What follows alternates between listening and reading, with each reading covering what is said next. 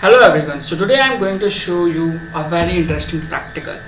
We are going to integrate machine learning with Docker. Means I am going to uh, use machine learning model inside Docker container and I am going to predict the result. I, what I am going to do here is I am going to train the model here then I would uh, just share that trained model to my Docker con uh, container and there I am going to predict it. In my other practical I have shown you how to install Jupyter notebook inside Docker container so that you can code there also.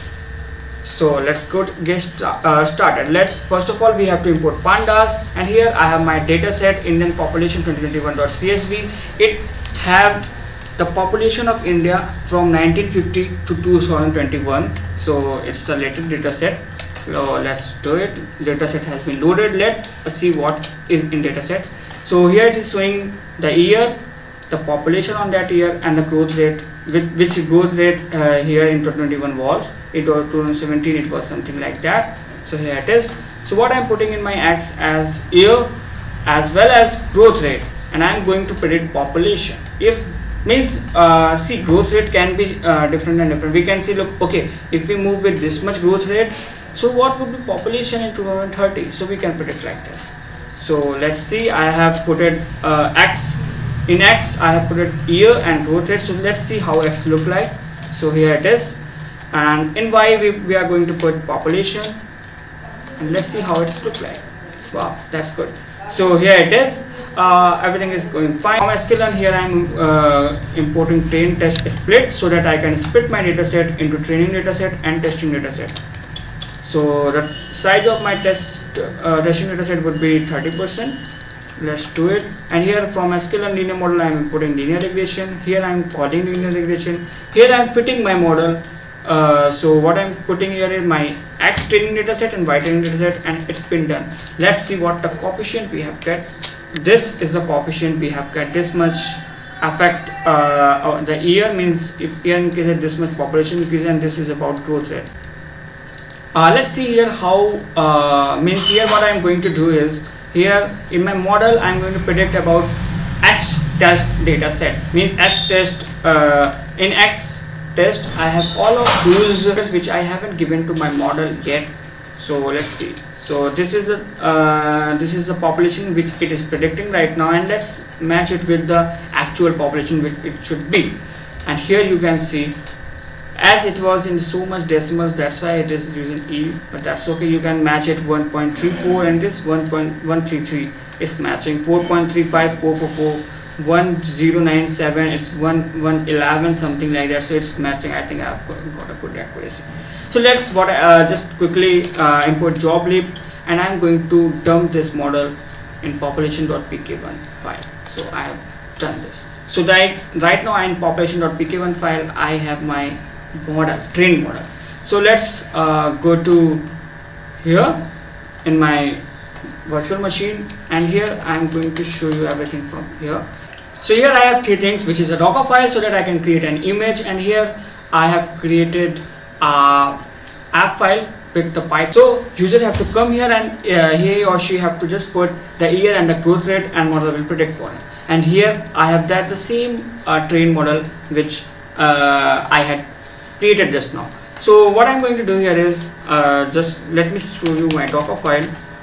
So here it's look like from I'm using the base OS as CentOS and here I'm going to install first of all Python 3 so that I can uh, I can run that Python app as well as I can uh, import that joblib and that model and I can predict and the second thing I'm importing here is sklearn so that I can import joblib module and here I'm copying that uh, um, app file which I have created to this directory in my image uh, in my image container. And here I'm also copying that a trained model file also.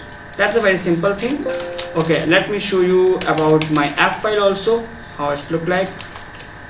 So it's here it is just a simple thing. Here uh, first of all it is asking uh, this much this thing. And then here it is asking to input about the year then input about the growth rate and here it is, importing joblib then it is uh, uh loading the model and then it is uh, just giving the output that's all.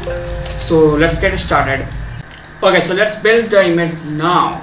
So docker build here I'm saying machine learning uh, model population okay so I think this is uh, okay. Let me give a tag and here we go. So sorry. Here I have to use uh, hyphen tag and here I'm using a version and here we go. So it is going to build the image for us. So it's saying that uh, there is no option y so okay it's by mistake.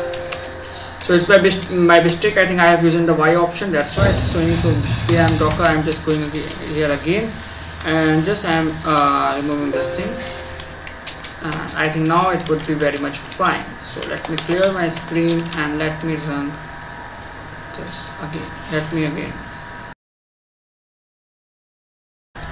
Okay so it's uh, image been successfully built and that's very good. So let's launch now. So let me clear my screen and so let's first of all see uh, docker images where it is so it would be machine learning model population version 1 is here. 51 second ago it's been built. So let's launch it. Docker run hyphen it let's give the image name. It is ml uh, model model dot uh, version 1 so here we go. Now we are inside our image. Uh, let me clear my screen and uh, if you will see here then uh, you can see I have that app.py file as well as I have population.pk1 also. So here we have to just run this app.py file. So let's see python 3 app.py and here we go. It is asking for welcome to the Indian population prediction app.